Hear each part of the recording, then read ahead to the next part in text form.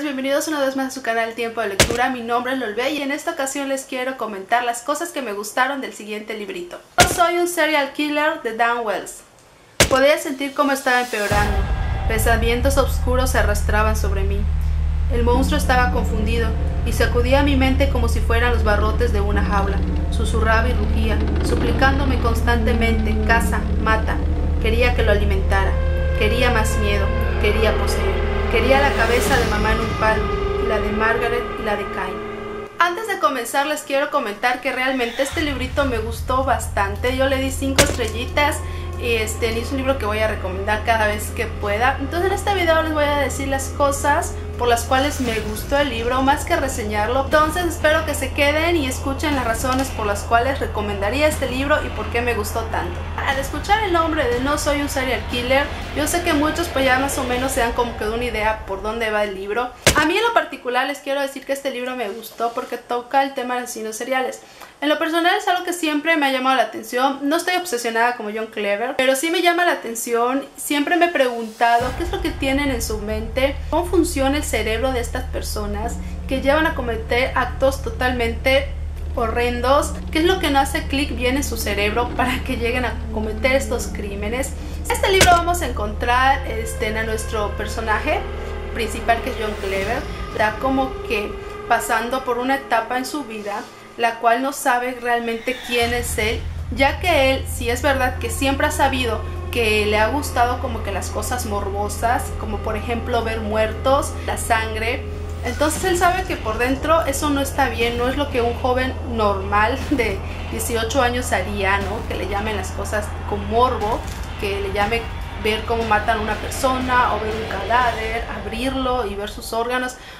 Pero el problema con este joven este, es que está teniendo una lucha interna porque él sabe que no solamente le gusta ver los asesinatos o le gusta ver gente muerta, sino que en cierto grado dentro de él ha tenido ganas de probar qué sería matar a una persona, o sea, y ver el miedo de sus ojos en esa persona al momento de que él es el asesino. Entonces por ese lado es lo que me gusta el libro, ¿no? Esa lucha interna de este adolescente y te hace ver como que la mente de un criminal o al menos de un criminal que está dormido y que está a punto de salir. Y él se ve envuelto en todo este ambiente el cual lo está perturbando bastante porque llega un momento que igual siente que nadie lo entiende. Por ejemplo él se siente a hablar con un compañero del colegio y le empieza a contar oye el asesino sería el fulanito de tal, este mató a, tal, a tantas personas y las degollaba, las mataba así entonces cuando sus compañeros escuchan esto, le dicen, ¿sabes qué? Estás loco, estás enfermo, no te quiero escuchar. Se levantan y se van. En su casa obviamente tampoco nadie soporta ese tipo de pláticas y él no sabe qué hacer, él no entiende por qué la gente no puede sentarse a escuchar algo que a él apasiona, por qué la gente lo ve tan mal, ¿no? O sea, eso es algo que igual le está como que molestando porque bueno, dirá, ok, a lo mejor y si nada más lo platico, lo converso y me dejan ser libre en manera de expresarme, no siento esa necesidad de matar. Pero al verse reprimido por la misma sociedad, a que le digan que es un friki porque le gustan esas cosas, él va sintiendo ese deseo cada vez más latente de ser un asesino. De las cosas que están muy bien estén hechas en este libro es que el autor pues obviamente te pone como que los aspectos principales de los asesinos seriales. Para empezar te dicen que pues que ellos son unos sociópatas. En el caso de John Clever es un sociópata. Entonces muy poca gente lo entiende y es de esperar, ¿no? O sea, realmente yo en lo personal sí como que me daría miedo platicar con alguien como John Clever. O sea, me daría miedo y no porque bueno no sabes si en el momento que te está platicando eso te está viendo como su próxima víctima o te está deseando matar o te está imaginando ahí toda degollada y abierta. Soy John Clever pues es un poquito duro lo que está pasando, ¿no? Que no encaja ni en su familia ni con sus amigos, entonces está buscando en dónde encaja realmente.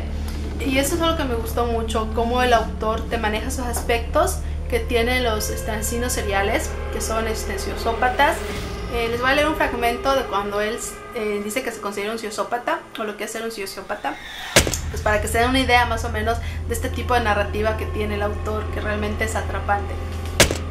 La idea de que fuera un sociópata no era nada nuevo para mí. Sabía desde hace mucho tiempo que no podía conectar con otras personas. No las entendía y ellas tampoco a mí. Y no me importaba cuál era el lenguaje emocional de que hablaban aprenderlo va más allá de mis capacidades. Entonces, en esta parte igual, pues te dice, ¿no? Que, por ejemplo, los asesinos en serie, sí es cierto que no sienten empatía, pero pueden ser muy buenos actores. O sea, ellos se arreglan de una manera en la cual les ayuda como que encajar hasta cierto punto en la sociedad. O sea, tú puedes estar hablando con un asesino en serie y él te puede estar sonriendo y diciendo, oh sí, claro, estás enamorado de fulanita tal, ¿no? Pero por dentro a él le vale un cacahuate, no le importa nada. De hecho, te podría estar imaginando, no sé, verte muerto. Pero son muy buenos actores con tal de poder encajar en la sociedad. Y esto es una problemática igual interna para ellos, porque imagínense siempre ir con una máscara este, fingiendo algo que no eres. Aquí les voy a leer una cita en la cual él se siente como que incomprendido por la gente. La sociopatía no era solo ser sordo emocionalmente, era también ser mudo emocionalmente. Me sentía como los personajes de nuestra televisión, agitando las manos y gritando sin que se escuchara una sola palabra. Era como si mi mamá y yo habláramos idiomas completamente distintos y la comunicación era imposible. Hay una situación muy curiosa la cual nos confiesa el autor de este libro es de que él es una persona la cual está igual obsesionada con los asesinos seriales. Entonces él era igual como, digamos un poco como John Clever, que se pasaba hablando de eso, viendo asesinos seriales. Y llegó un amigo un día y le dijo, ¿sabes qué? Si sientes que estás como que excediéndote hablando de esto, incomodando a las personas, ¿por qué no escribes un libro acerca de asesinos seriales? Entonces el autor, gracias a su amigo que le dio la idea, pues nos trae este librito, el cual es el primero de una trilogía. Por aquí les dejo la foto de los demás, que solo han sido publicados en inglés, pero esperamos muy pronto ya sean traídos al país para pues, poder saber más acerca de John Clever. Y entre esas cosas que la autora hizo de que escribió un libro acerca de asesinos seriales, una peculiaridad que tiene este libro es que te menciona varios asesinos seriales de los más famosos de Estados Unidos. Y eso se me hizo muy interesante, ¿no? Yo después de leer el libro, como que algunos no los conocía y googleé en internet.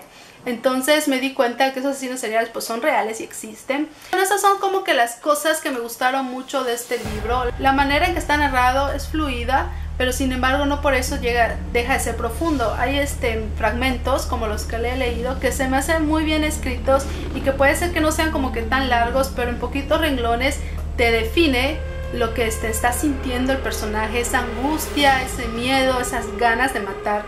Entonces eso me gustó bastante. En este libro, sin embargo, les quiero comentar que tiene un giro un poquito inesperado. Es, un libro que nos habla de asesinos seriales y los asesinos seriales están dentro de la realidad. Pero llega un momento en el libro en el cual da un giro y te mete un toque de fantasía un poquito extraña. Y tú te quedas pensando, bueno, ¿y esto por qué está aquí? Pero sin embargo, como que quieres seguir leyendo porque por la historia no afloja, sino que te mete ese elemento que es un poquito extraño. No es desagradable, pero sí es un poquito si no estás acostumbrado a leer este tipo de libros, sí te va a ser un poquito extraño. Pues bueno, bonitos lectores, eso ha sido todo. Por último, les quiero decir que yo les recomiendo este libro, No soy un serial killer, de Dan Wells, que es traído a nosotros por editorial BIR. Pues bueno, eso ha sido todo por mi parte. Recuerden, mi nombre es Lolbe, les doy muchas gracias por ver este video. Abajito les dejo mis redes sociales y también les voy a dejar una que otra reseña acerca del libro de No soy un serial killer para que se den una idea de qué trata. En esta ocasión les quise decir las cosas buenas que tiene el libro, pero hay reseñas igual, ¿no? Chao, gracias. Es un libro que este, pues nos habla de asesinos reales, los asesinos reales pues están dentro de la realidad,